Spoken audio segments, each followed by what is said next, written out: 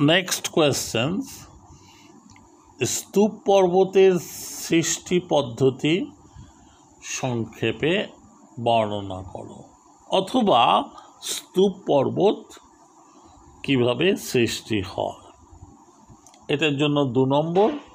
আর এর পাশে একটা তিন নম্বরের প্রশ্ন থাকবে, গ্রস্ত উপত্যকা কীভাবে গঠিত হয়? এই পাঁচ নম্বরের প্রশ্নপত্র আমি আলোচনা করছি। দেখো স্তূপ পর্বত সৃষ্টির পদ্ধতি অনেক রকম। তার মধ্যে একটা হচ্ছে আর্থ মুভমেন্ট বা ভূ আলোড়ন। এবং সেটা epeirogenic earth movement. Epeirogenic movement মানে সাইডওয়েজ। সাইডওয়েজ মানে পাশ থেকে, না, অ্যাপাইরোজেনিক হচ্ছে ভার্টিক্যাল, অর্থাৎ লম্বালম্বি, ভূ অভ্যন্তর থেকে ভূপৃষ্ঠের দিকে। এটা হচ্ছে অ্যাপাইরোজেনিক। কি বললাম? ভূ অভ্যন্তর থেকে ভূপৃষ্ঠের কেন্দ্রের দিকে। এটাকে বলব অ্যাপাইরোজেনিক, ভার্টিক্যাল, অর্থাৎ up and down movement. Up যদি হয়, তাহলে লিফটেড আর যদি ডাউন যদি হয়, তাহলে ডিগ্রেডেশন অবনমন। আর যদি আপ হয়, তাহলে এগ্রেডেশন আরোহণ। ফলে এই জায়গায় স্তূপ পর্বতের পদ্ধতিতে আমরা দেখলাম ভূ আলোড়ন। ভূ আলোড়নে কী হবে? Tension and expansion tension and expansion tension মানে টান এক্সপানশন মানে প্রসারণ। এই দুটো ফোর্স বা বল সেখানে কাজ করছে।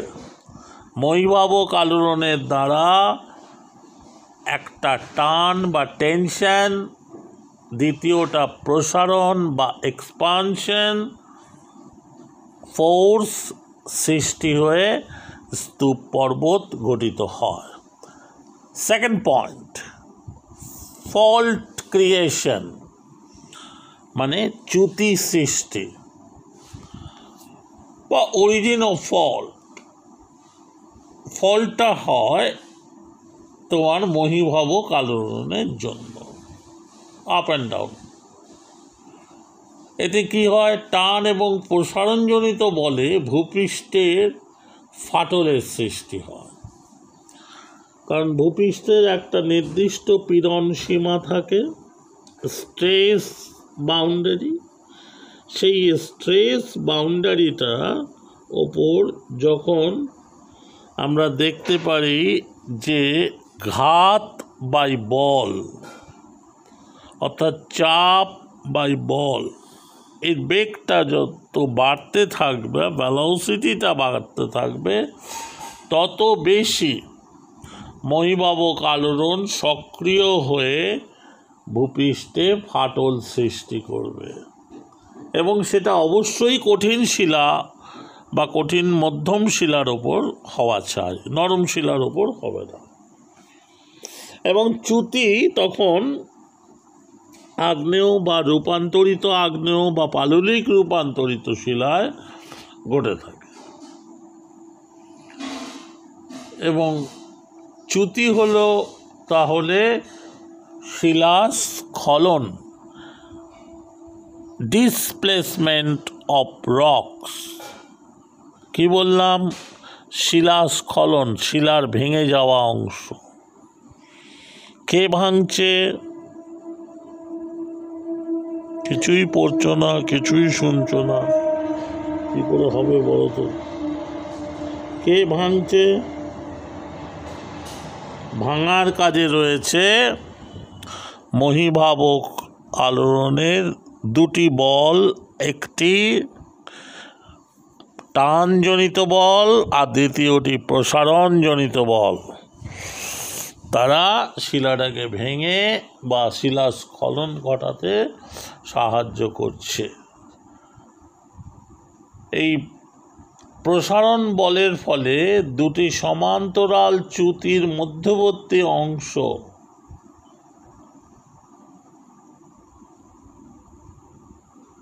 দুটি শিলার মধ্যবর্তী অংশ পার্শ্ববর্তী অঞ্চল থেকে ওপরে উঠে গিয়ে পর্বত সৃষ্টি করছে।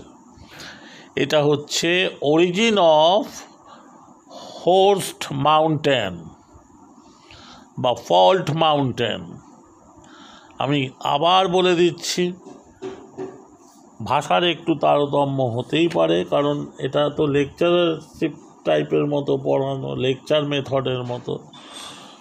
ফলে এই জায়গাটা একই রকম নাও থাকতে পারে। কারণ আমি তো কোনো বই সাজেশন নিয়ে পড়াচ্ছি না, আমি প্রশ্নপত্র নিয়ে পড়াচ্ছি।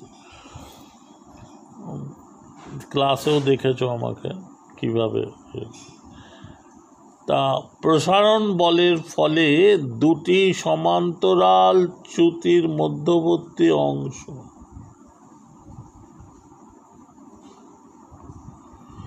তো সেখানে আমরা দেখব যে সাধারণ বলের ফলে দুটি সমান্তরাল চ্যুতির মধ্যবর্তী অংশ নিম্ন অঞ্চল থেকে উঠে গিয়ে স্তূপ পর্বতের সৃষ্টি করেছে।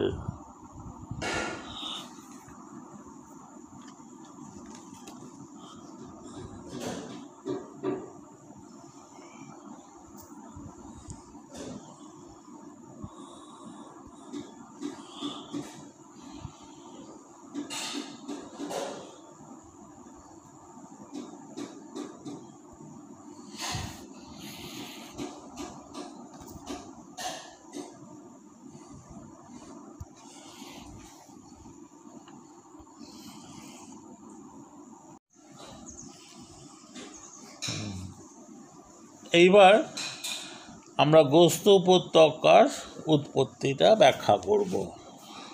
দেখো, অনেকেই স্তূপ পর্বতের ব্যাখ্যাটা ঠিক করে করলেও গ্রস্ত উপত্যকার ব্যাখ্যাটা ঠিক করে করতে পারে না। সে প্রথম দিককার ছাত্র হোক আর শেষের দিককার ছাত্র হোক। দুটো ক্ষেত্রেই ছবি লাগবে এবং স্পষ্ট করে তার যে ক্যাপশনগুলো আছে, ক্যাপশনগুলো বসাতে হবে। পয়েন্ট আউটগুলো দেখিয়ে দিতে হবে কোনটা কী, ইত্যাদি। চ্যুতি রেখা কোনটা, চ্যুতি অবস্থান কোনটা আপলিফটেড কোনটা ডাউনওয়ার্ড কোনটা, এইগুলো দেখাতে হবে, বলতে হবে। তা দেখো যে আমরা সাধারণভাবে বলি দুটি সমান্তরাল চ্যুতির মধ্যবর্তী অংশ পার্শ্ববর্তী অঞ্চল থেকে বসে গিয়ে যে অবনমিত উপত্যকা সৃষ্টি করে সেটাই হচ্ছে গ্রস্ত উপত্যকা। এটা আমরা সাধারণভাবে ক্লাসে পড়ানোর সময় এটাই বলে থাকি। সেই ভিত্তিতে আমরা যে কারণগুলো দেখব, এখানেও প্রথম কারণ হচ্ছে ভূ আলোড়ন। কারণ ভূ আলোড়নে স্তূপ পর্বত, আবার ভূ আলোড়নে তোমার গ্রস্ত উপত্যকা। কেন? না, ভূ আলোড়নের পথটা আলোড়নের পথটা হচ্ছে উত্থানজনিত এবং অবনমনজনিত। যদি উত্থান ঘটায়, তাহলে স্তূপ পর্বত, আর যদি অবনমনজনিত বল ম্যাক্সিমাম কাজ করে, পার্শ্ববর্তী বল বা মধ্যবর্তী বল অপেক্ষা, তাহলে সেখানে সরাসরি গ্রস্ত উপত্যকা, মধ্যবর্তী বলের জন্য গ্রস্ত উপত্যকা কাজ করবে এটা গেলে একরকম। এইবার যদি চ্যুতির সৃষ্টি হয় যদি ঘটবেই কারণ একটু বড় ধরনের যদি আলোড়ন ঘটে থাকে, অর্থাৎ সময় নিয়ে এবং জায়গা নিয়ে, তাহলে কিন্তু চ্যুতি ভালো রকমই অবস্থান করবে। টান এবং প্রসারণের জন্য গভীর ফাটল হবে এবং মূল শিলা থেকে ভগ্নীকরণ মানে আঘাতপ্রাপ্ত শিলা স্খলিত হবে। স্খলিত দন্তেশ্বয় খ, ল তাহলে বুঝতে এরকম মানে একটা প্রভাব চ্যুতির দ্বারা পর্বত সৃষ্টির কাজ আরম্ভ হচ্ছে। গ্রস্ত উপত্যকা। স্তূপ পর্বতের জন্মকালেই গ্রস্ত উপত্যকা, কারণ দুটি সমান্তরাল চ্যুতির মধ্যবর্তী অংশ হচ্ছে গ্রস্ত উপত্যকা। টেকনিক্যালি যদি বলতে চাও, ব্যাখ্যা করতে চাও উচ্চভূমির দুটি সমান্তরাল চ্যুতির মধ্যবর্তী অংশ হচ্ছে তোমার গ্রস্ত উপত্যকা। ফলে এই যে গ্রস্ত উপত্যকার জন্ম হলো, এটাই পরবর্তী অংশে থেকে গেল বা এটাই মূল অংশ রূপে বিবেচিত হলো।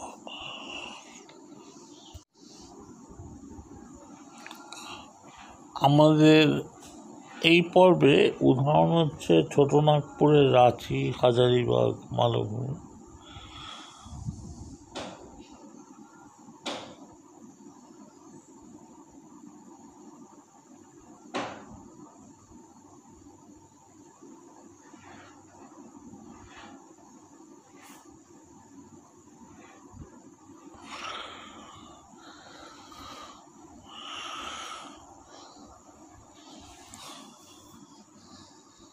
এরপরে আমরা যে প্রশ্নের মধ্যে যাব, সেটা হচ্ছে মালভূমির বৈশিষ্ট্য।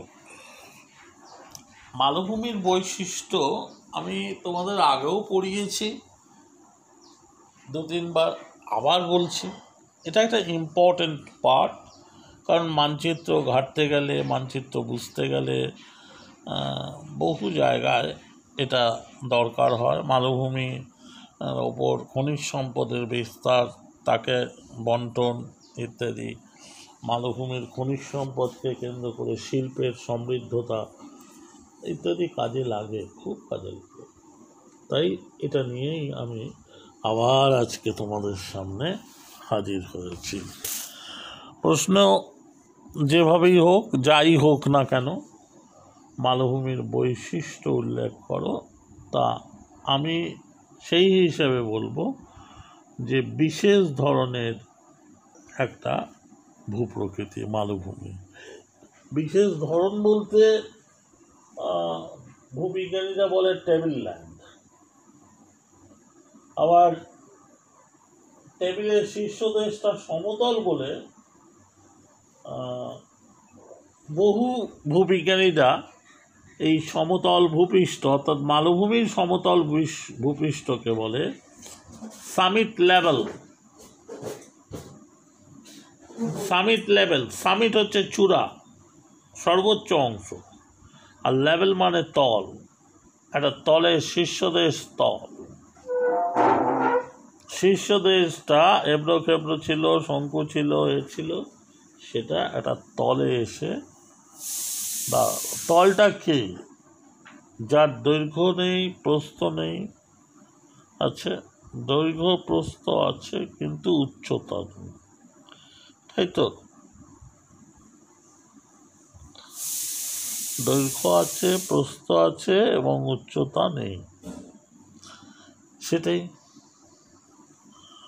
তাহলে এখানে আমরা দেখব তরঙ্গায়িত শীর্ষদেশ খাড়া পার্শ্বদেশ বিশিষ্ট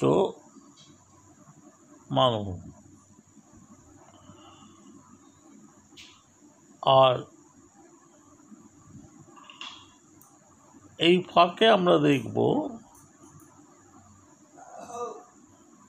যে ভূপৃষ্ঠের বিস্তার ফর্টি ফাইভ পার্সেন্ট মতো এটা বিস্তৃত ভূপৃষ্ঠে। মহিভাবক প্রভাবটা মালভূমিতে সবচেয়ে বেশি, গিরিজনী প্রভাব নেই বললেই চলে। এবং মহিভাবকে সৃষ্টি হয়েছে মালভূমি, যেমন মহাদেশীয় মালভূমি মহিভাবক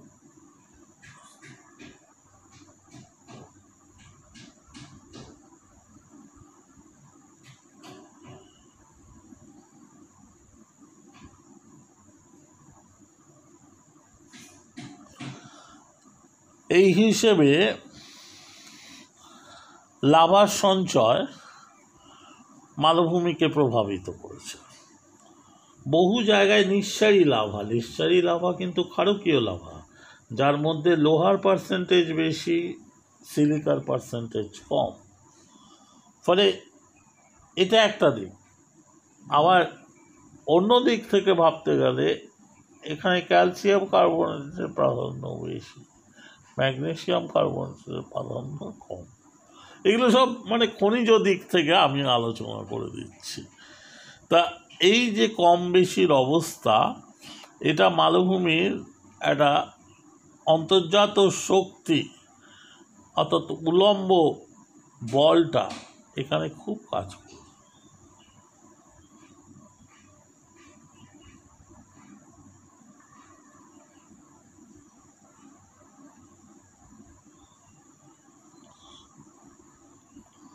এরপর আমরা দেখব ক্ষয়ের প্রভাব। বিভিন্ন ধরনের মালভূমির উৎপত্তি হয়েছে। ছোটনাগপুরকে কেটে ক্ষয়জাত মালভূমি মূল নদী, শাখা নদী, উপনদী, প্রশাখা নদী।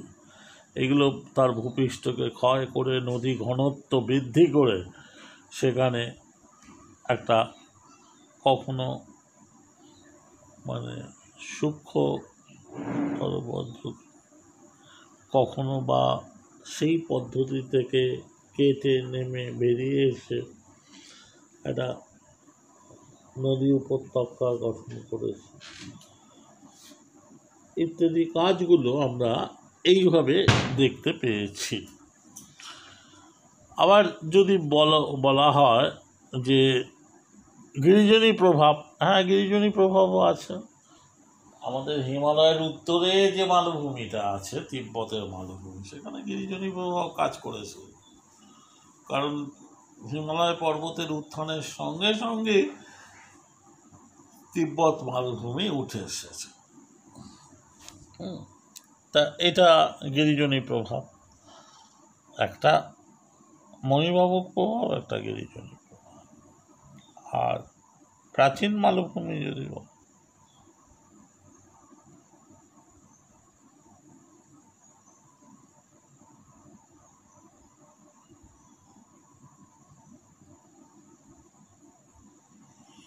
আর একটা জিনিসে বলা যায়, বন্ধুরতা কম, অর্থাৎ উচ্চতার প্রভেদ, উচ্চতা এবং নিম্নতা। নিম্নতা না, উচ্চ অংশ এবং নিম্ন অংশের মধ্যে যে প্রভেদ, সেটা খুব কম।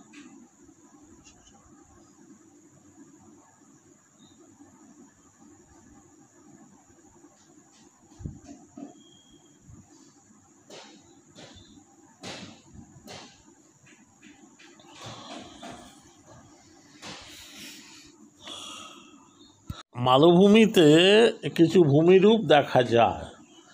যেমন ধরো ক্ষুদ্র গম্বুজ ভূমিরূপ, মালভূমির পিঠের চেয়ে কিছুটা সারফেসের চেয়ে ছোটো সারফেস ওই টুলের মতো। বড় বড় টুল যেমন আছে টেবিল মালভূমি থেকে টুল মালভূমি।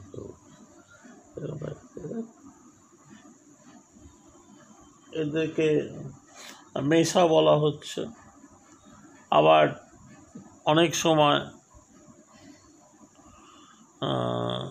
মেশার জায়গায় ছোট টুলস বা টাওয়ারা দেখা যায়। এই ধরনের রয়েছে।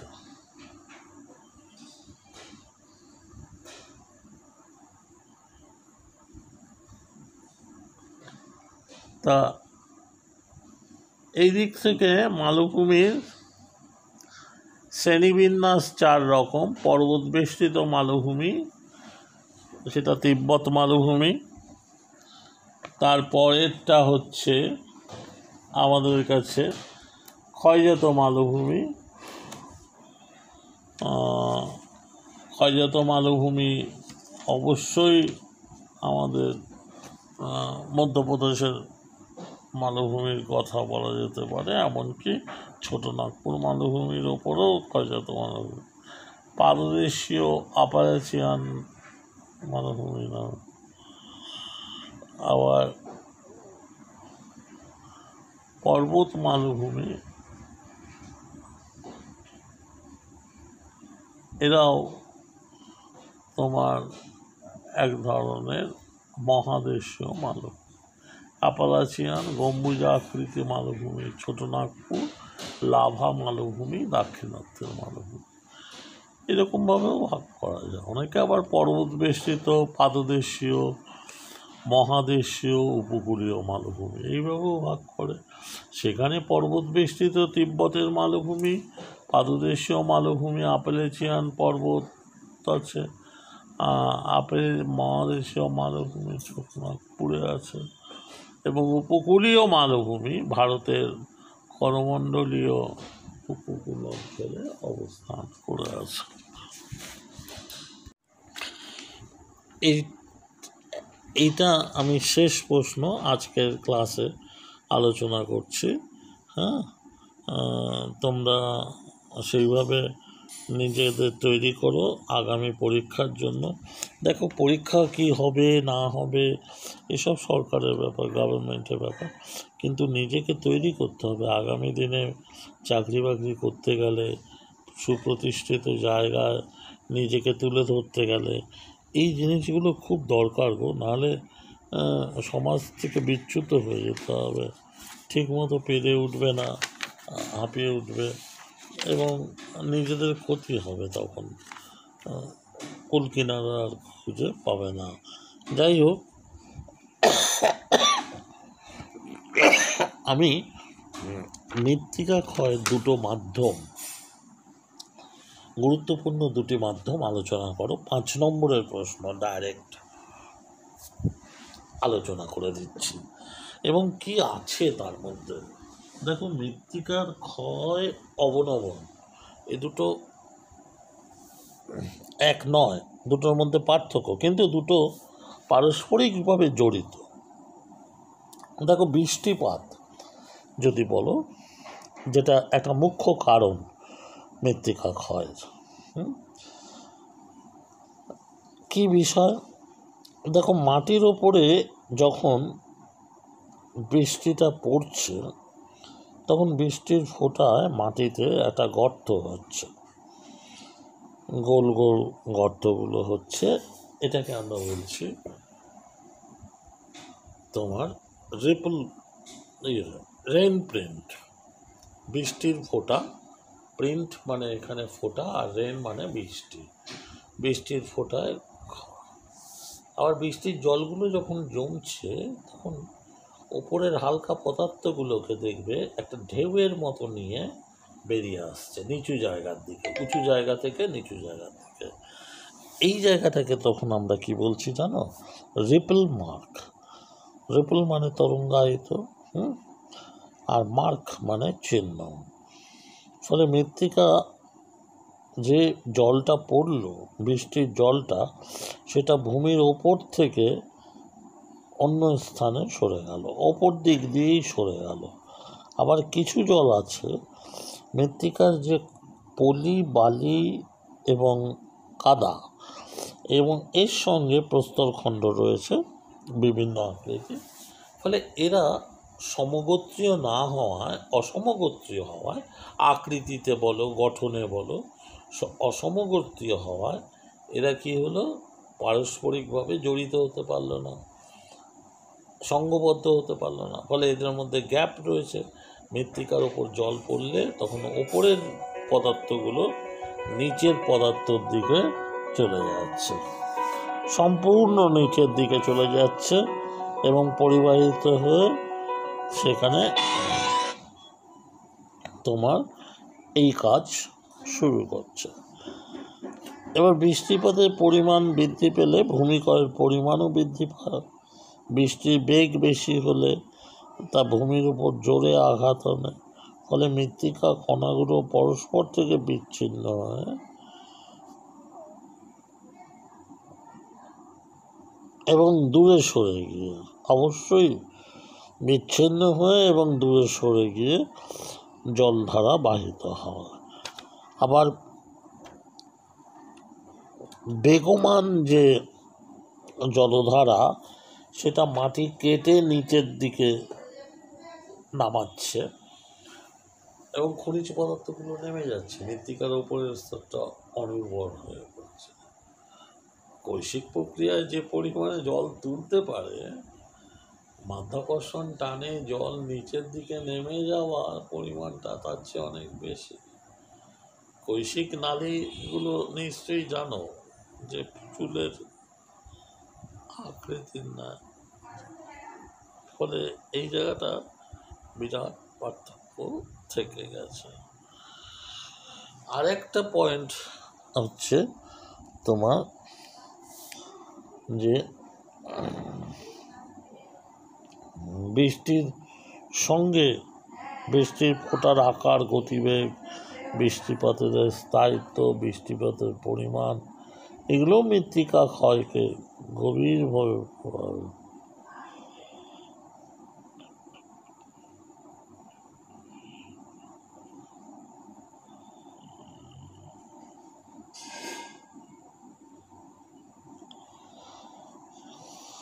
আমরা গাড়ি ক্ষয় এবং রেল ক্ষয়, নালী ক্ষয়, এগুলো মৃত্তিকা ক্ষয়ের মধ্যে দেখে থাকে। সিট ইরোশন পাত ক্ষয়।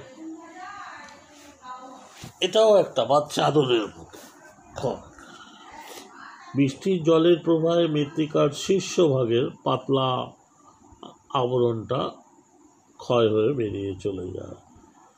এটা তোমার সিট ইরোশন আর যেটা গাড়ি ইরোশন সেটা বৃষ্টিপাতের জন্য, এটা প্রধানত শুষ্ক অঞ্চলে সামান্য উঁচু জায়গা থেকে জল একেবারে নিচের দিকে ঘাসপূর্ণ।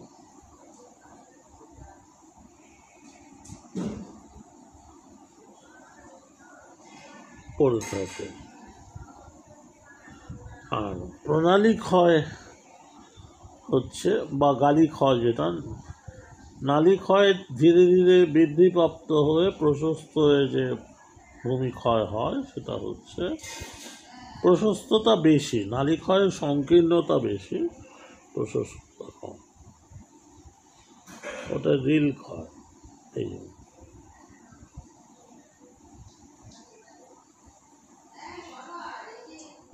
এই বলে আমি তোমাদের শেষ করি